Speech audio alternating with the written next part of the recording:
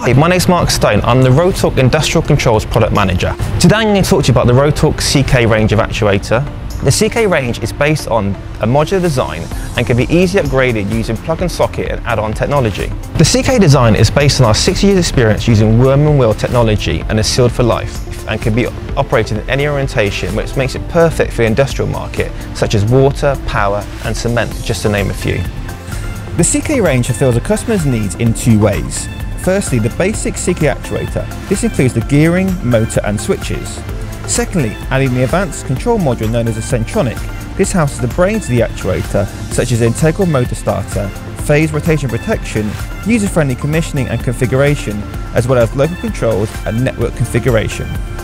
Thank you very much for watching this first introduction to the CK range.